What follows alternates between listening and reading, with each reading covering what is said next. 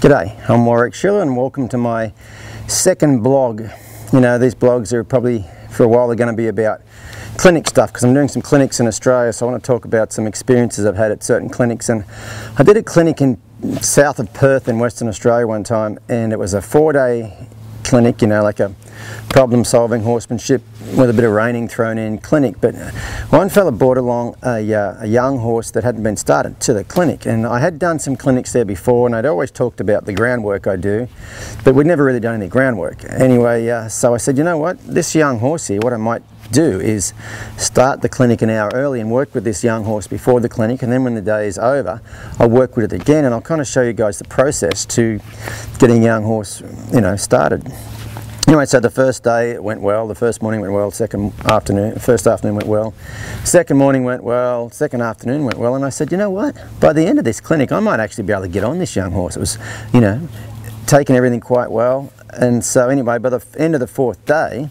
I actually was preparing to get on it and ride it for the first time in the in the round pen there. And there was a, a fella there, he starts a lot of young horses in Western Australia, and he said, um, so are you going to wear a helmet and a vest when you get on that young horse for the first time?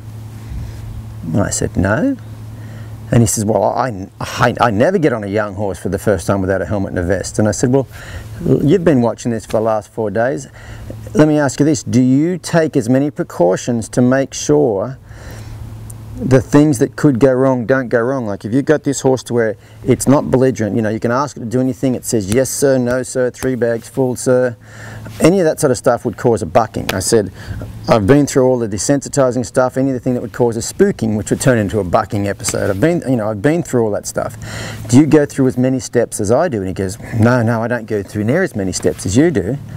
And I said, well, okay, then you probably need a helmet and a vest.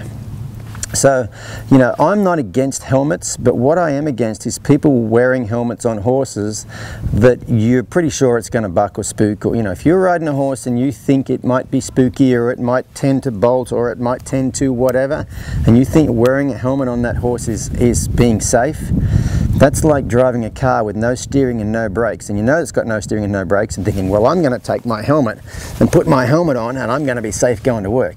You, you just wouldn't do that okay? And I know I'm going to get some backlash from this because helmet people are like everybody needs to wear a helmet.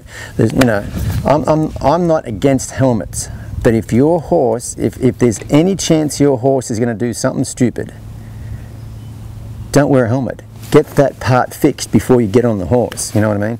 You know don't get on a horse that's poorly prepared. And you know for me it's being able to do all the groundwork really really really well. If you've watched any of my videos on um, on YouTube, like the, all the basics I go through, like with that warm black warm blood stallion. You know, he's really perfect at all that sort of stuff. And he was a pretty scary horse to start out with when we first got him.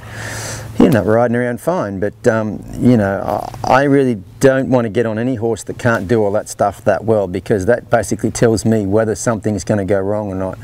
You know, and I don't put on the helmet and the vest and think, well, I know he's going to do it wrong and I'm going to get hurt, so this will lessen the injury when I do get hurt. I don't want to get hurt. I'm a big chicken, so I want to make sure those horses are really, really well prepared uh, before I ever get on them. So, anyway, something to think about.